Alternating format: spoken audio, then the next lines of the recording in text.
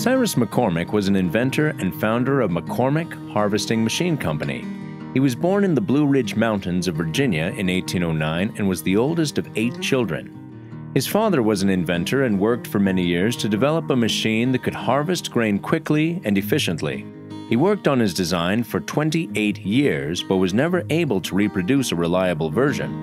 Having inherited the creative ingenuity gene from his father, young Cyrus picked up where his father left off.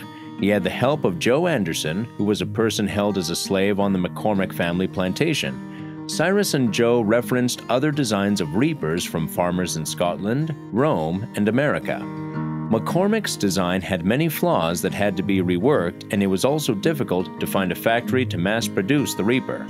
Cyrus and his brother, Leander, moved to Chicago to open their own factory to manufacture the reaper. Later, another McCormick brother, William McCormick, moved to Chicago to help with the financial affairs of the business. The brothers were able to build a successful, thriving business. Their Reaper came onto the market right as railroads were making wide distribution available, and farmers near and far from Chicago were able to purchase this innovative new machine. McCormick's Reaper increased production, streamlined harvest, and helped increase revenue for farmers all over America.